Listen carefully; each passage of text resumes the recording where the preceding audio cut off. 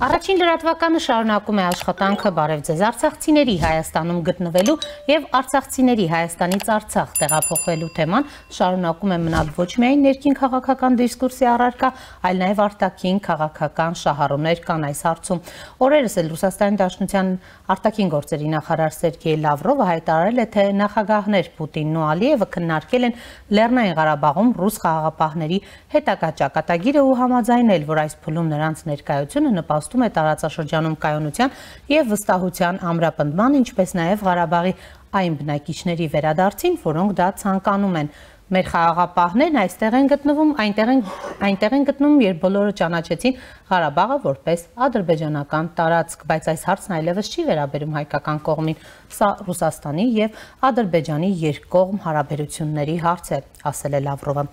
Հյուրս Արցախցի փաստաբան Ռաֆայել Մարտիրոսյանն է, պարոն Մարտիրոսյան, բարև ձեզ, շնորհակալ եմ հրավերն ընդունելու համար։ Շնորհակալ եմ հրավերի համար։ Պարոն Մարտիրոսյան, նախ, եթե այսպես ձևակերպենք, ովքեր են պատրաստ ռուս խաղաղապահների Արցախում ներկայության դիմաց այսօր վերադառնալ Արցախ, հաշվի առնելով այն դառը փորձը, որ Արցախահայությունը ունի 20 թվականից սկսած 20 թվականին 100 հազարավոր Արցախահայեր վերադարձան, հենց այն երաշխիքով, որ ռուս խաղաղապահներն ապահովել են այդ անվտանգությունը։ Խնդրեմ, համեցեք։ Ներկա իրավիճակի տրամաբանությունը այնպես ինչպես նաև նոյեմբերի 20-ից հետո արված հայտարարության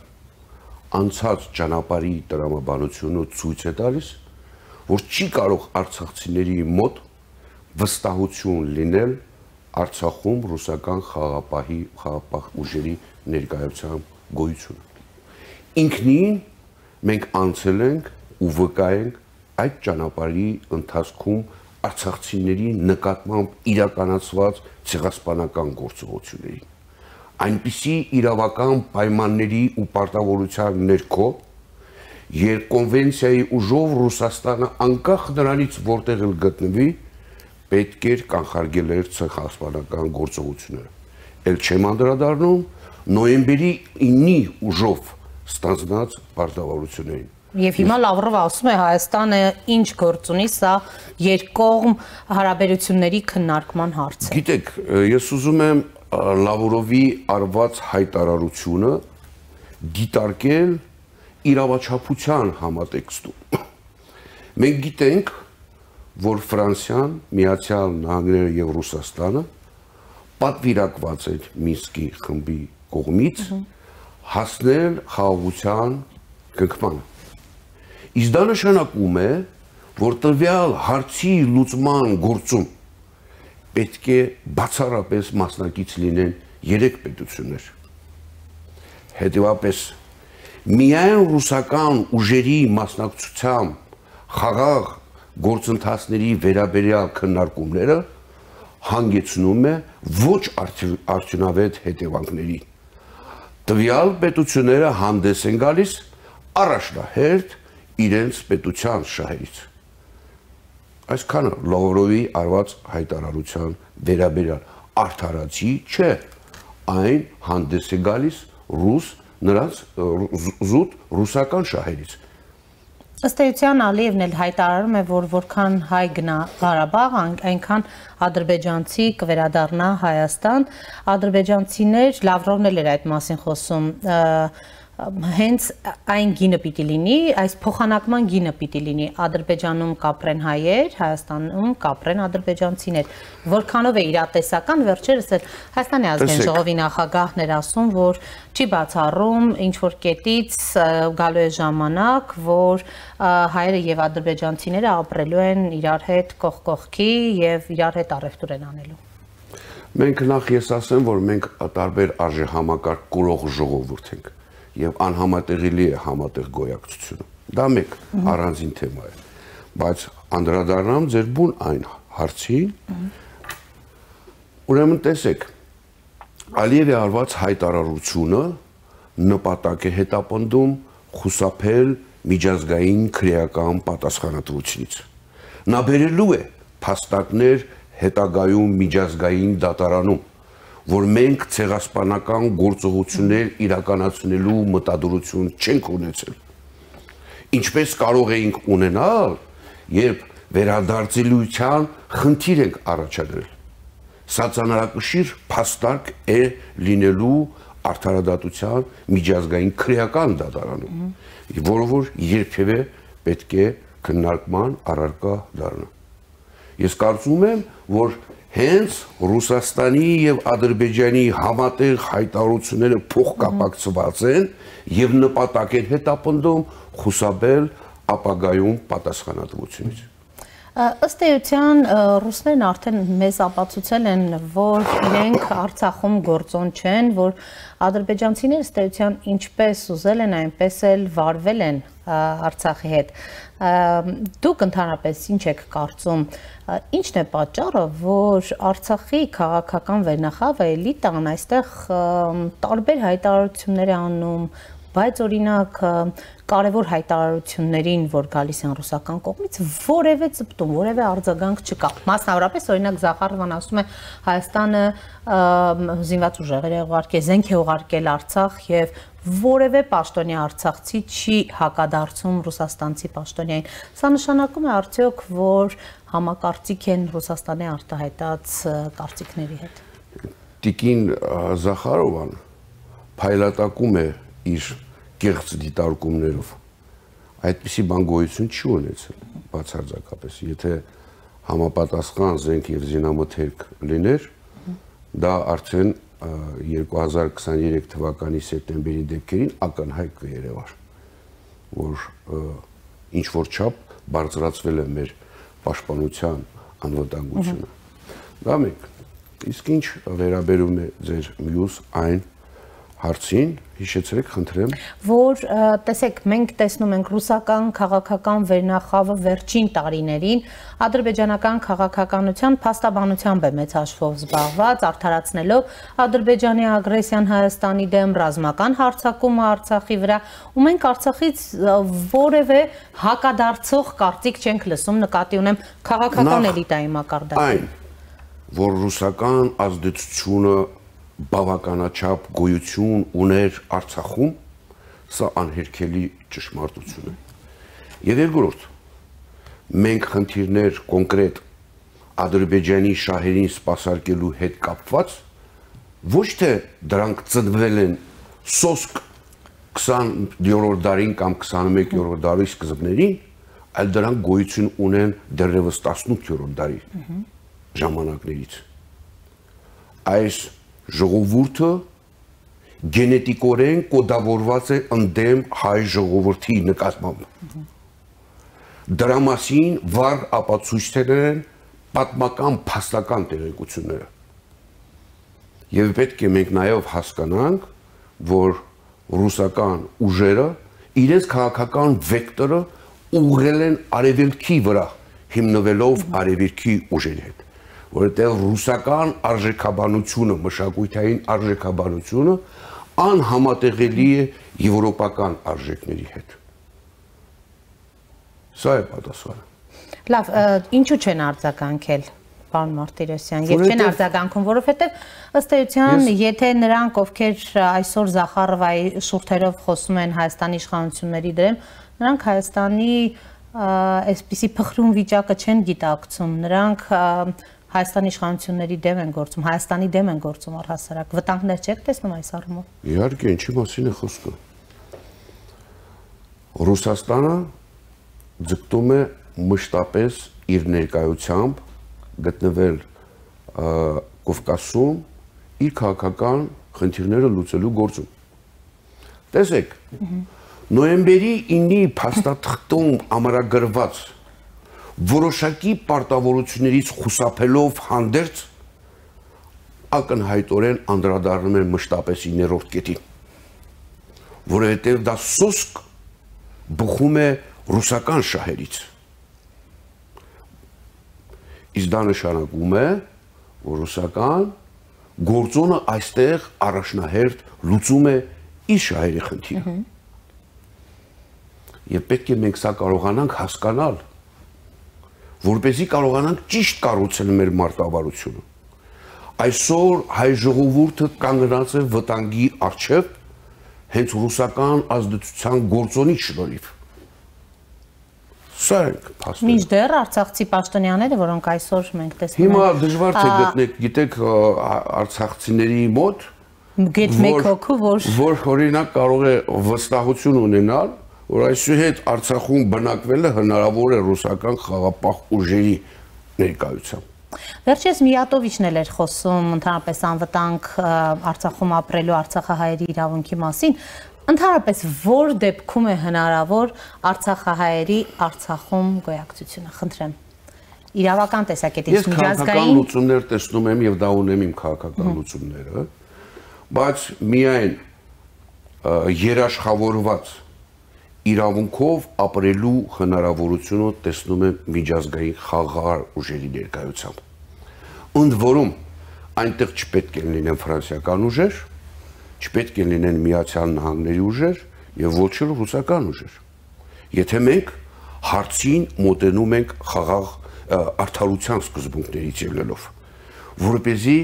այդ պետությունները իրենց շահերը չգործադրեն Արցախի տարածքում։ Իսկ ինչ ուժերի տվյալ դեպքում միջազգային ինչպես միջազգային խաղաղ խաղապահ ուժեր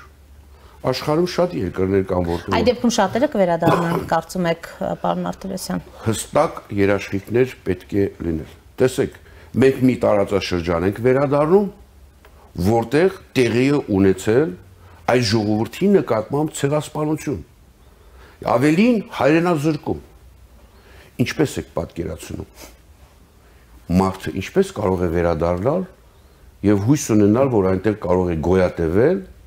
խաղաղ պայմաններում կամ իրավունքի պաշտպանության պայմաններում դժվար թե գտնենք այդպիսի մարդ ինչքան էլ սիրո զուգացողությամբ տոգորված լինենք հայրենիքի նկատմամբ այդուհանդերձ դա բավարար չէ որ վերադառնան Արցախ եւ ապրեն Արցախում Իբրև փաստաբան ուզում եմ հարցնել եւ իմանալ ձեր կարծիքը նախկին արտգործնախարար Վարդան Օսկանյանը հայտնել է, որ համակարգելու է Արցախի հարցով միջազգային հանձնախմբի աշխատանքները։ Ըստ Օսկանյանի այն արդեն ձևավորված է եւ զբաղվելու է Արցախի ժողովրդի հավաքական հայրենադարձության եւ այլ հիմնարար իրավունքների պաշտպանության հարցով առհասարակ ինչպես եք գնահատում նախկին արտգործնախարարի նման կառույցի ղեկավարումը հաշվի առնելով, որ եթե իրապես ցանկություն կար Արցախը օգնելու, փրկելու եւ այլն, ուներ այդ շանսը Օսկանյանը 20 թվականից հետո, հատկապես Դավիթ Բաբայանի գնախարարի հրաժարականից հետո գալ եւ Արցախում պաշտոնավարել։ Այդպիսի առաջարկ մամուլը գրում է, որ եղել է մամուլը։ Գիտեք, ես երևի այս հարցին պատասխանեմ հետեւյալ կերպ։ Միայն վսեմ հայտարարությունների ներքո չես կարող ամբողջական պատկերացում կազմել, թե որն է դրանց ստեղծման էությունը եւ նպատակը։ Անկեղծ ասած, ես ամբողջական տեղեկություն չունեմ ովքեր են կազմում, արդեն մամուլը գրում է դաշնակցականներ են հիմնականում, պարոն Արտիրոսյան։ Եվ այլն, եւ այլն։ Ես այդ հարցի վերաբերալ չեմ կարող սպառիչ պատասխան ասել։ Ընդհանրապես այսպիսի հանձնախումբ ձևավորելու անհրաժեշտություն կար, պարոն Մարտիրոսյան, թե ոչ արցախցիների իրավունքների պաշտպանության միջազգային հարթակներում ներկայացնելու, թե Հայաստանի իշխանությունները ըստ էության իրենք պիտի անեն բավարար քայլեր, որովհետև մենք տեսնում ենք այս հանձնախմբերի ձևավորման հայտարարությունների Հայաստանի իշխանությունների մեջ որևէ կապ չկա, կոմունիկացիա չկա առհասարակ։ Դե նախ պետք է արձանագրենք, որ մենք բազմա վեկտոր հասարակությունում ենք գտնվում մեր հասարակությունը առողջ չէ։ Դա մեկ։ Եվ պետք է հասկանանք, թե կոնկրետ ում պարտականությունն է հոգացություն դրսևորել արցախցիների նկատմամբ։ Առաջնահերթը դա պետությանն է։ Իսկ երբ արկա չէ անհրաժեշտ հոգացություն արցախցիների ճակատագիրը եւ ըստ այդմ հայ ժողովրդի ճակատագիրը լուծելու գործում ակնհայտ է, որ կարող են ծնվել կազմակերպություններ։ Բայց արդյոք այս դատողության մեջ է ծնվել այս հասարակությունը, սա պետք է հասկանալ նաև գնահատման արժանացում։ Ես դրան չեմ կարող։ Դժվարանում եմ այս հարցին պատասխանել, որովհետև ինձ համար տեսանելի չէ թե կոնկրետ սրանց մարտավարությունը ինչին է ուղված։ Միայն, ինչպես ասացի, վսեմ խոսքերի միջոցով դատողություններ անել, չես կարող օբյեկտիվ եզրակացության կամ մտահանգում ունենալ։ Պարոն Մարտիրոսյան, զրույցը սկսելուց առաջ ասում եք, որ առաջնային է հասկանալ պատճառները, թե ինչու տեղի ունեցավ այն, ինչ տեղի ունեցավ եւ ինչու կորցրինք Արցախը։ Խնդրեմ, ինչու։ Գտել եք ձեզ համար այդ պատասխանը։ Գիտեք, դուք փիլիսոփայական հարցադրում ուղղեցիք։ Հետևաբար ես պետք է նաև ձեզ պատասխանեմ փիլիսոփայության տրամաբանությամբ։ Գոյաբանությունը որպես որպես փիլիսոփայական նշանակություն ունեցող հանգամանք հակված է պատասխանելու այն հարցին, թե որն է իրական կեցության նկարագիրը։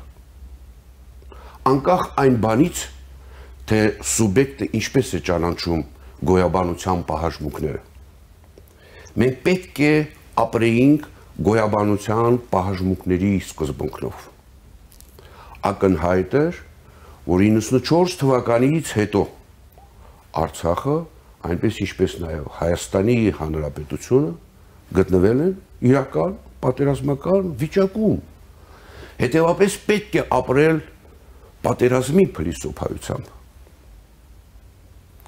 Եվ պետք է մենք կարողանանք պատասխանել արդյոք մեր կեցությունը կառուցել ենք այդ փիլիսոփայության հիմքերի վրա ասում ենք ուզում ես խաղաղություն պատրաստ եղիր պատերազմի։ Անշանակ։ Տեսեք, ես ուզում եմ համեմատություն անել 90 թվականի հայի նկարագրի եւ այսօրվա հայի միջև։ Մենք հայ ժողովրդի նկարագիրը փոխել ենք այս տարիների ընթացքում։ Խավարի,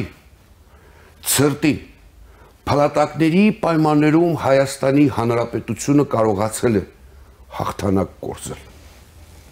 Իսկ ով են դրանք։ Դրանք նույն հայ ժողովուրդն են։ Այն ժամանակներում ամոթ էր չգտնվել մարտական դիրքում։ Իսկ այժմ էականորեն փոխվել է մեր նկարագիրը։ Այն ժամանակ,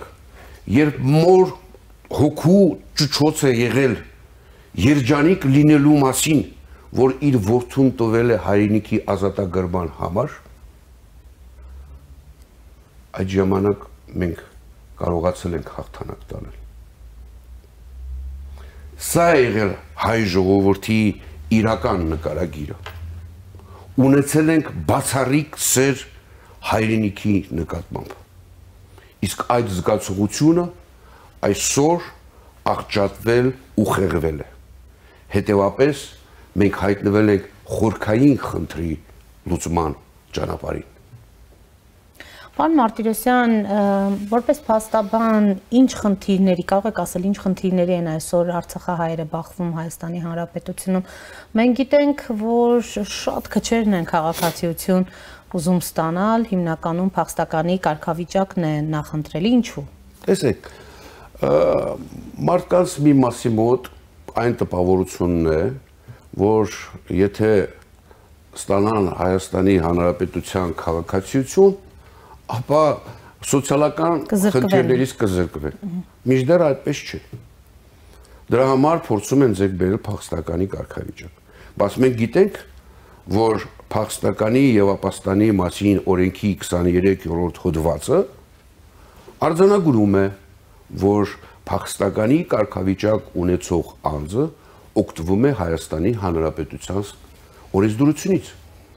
Իհարկե, այն օրենսդրությունից, որտեղ հատուկ ընդգծված չէ քաղաքացիության, քաղաքացիություն լինելու հատկությունը։ Օրինակ, չես կարող գնաս դատախազությունում աշխատել կամ քննչական կոմիտեում կամ։ Սա արդեն քաղաքացիությունը որպես պարտադիր պայման է։ Մյուս կողմից Այդ արցախցիները օգտվում են Հայաստանի Հանրապետության օրենսդրությունից։ Բազմաթիվ խնդիրներ կան, փաստաթղթերի անհետանալու հետ կապված, նախկինում ուրեմն Հայաստանի Հանրապետություն հանրապետության քաղաքացի լինելու հետ կապված, որ ամուսնության ընթացքում հետագայում կյանքի 27 տարիները ապրել է Արցախի տարածքում։ Բայց Հայաստանի Հանրապետությունը փախստականի կարգավիճակ ճանաչում է միայն այն դեպքում, երբ օտարի երկրյա քաղաքացի ես կամ քաղաքացիություն ունեցող անձ ես։ Ինչ արի հիմա։ Չի կարող հայ Հայաստանի Հանրապետության քաղաքացուն պաշտպանության միջոցներ կիրառել։ Պաշտպանության միջոցներ կիրառում են այն դեպքում, երբ այդ անձը զրկված է պաշտպանության հնարավորություններից։ Այսպիսի հանգամանքներ կան, ուզում եմ ասել, որ մարդիկ չհասկանալով հանդերձ արդեն իսկ նրանց ինքնագիտակցության մեջ բացասական վերաբերմունք է ձևավորվում։ Բայց մեր խնդիրն է ձեզ հետ միասին բացատրել այդ մարդկանց։ Վերջին հաշվով մարդկային ինքնագիտակցությունը անդրադառնում է պետության անվտանգության վրա։ Մարդիկ խիզախություններ կատարում են հայրենիքի համար այն չափով, որ չափով հարգում ու սիրում են հայրենիքը։ Շատերը գիտենք, որ արդեն Հայաստանի Հանրապետության սահմաններն էլ են լքում Արցախահայերից։ Գիտեք, այդ մարդկանց տրամաբանության հիմքում ընկած է հետևյալ գործոնը։ Մարդիկ պետությունը ճանաչում են իշխանության միջոցով միջդեռ դրանք ատարբեր հասկացություններ են։ Եթե նրանց մոտ առաջնային է հայրենիքի նկատմամբ բացառիկ սիրո զգացողությունը, այն իմաստը, որը մենք ունեցել ենք եւ ստեղծել ենք, որ ըստ էության դա մեր մշակութային արժեք արժեքի մի մասն է, եթե ըմբռնումով մոտենան, կարծում եմ նման քայլերի չեն դիմի։ Ինչ եք պատկերացնում, կարծում եք, թե մենք գտնում ենք սքանչելի իրավիճակում, բայց ոչ, մենք պետք է մնանք այստեղ։ Նույնիսկ ծանր պայմաններում պետք է ապրենք Արցախում, որովհետև միայն բնակություն ունենալու հանգամանքով է դյուրացվում Արցախի ազատագրման հարցը։ Շնորհակալ եմ պարոն Մարտիրոսյան։ Հիշեցնեմ, որ առաջին լրատվականի տաղավարում զրուցում էինք Արցախցի փաստաբան Ռաֆայել Մարտիրոսյանի հետ։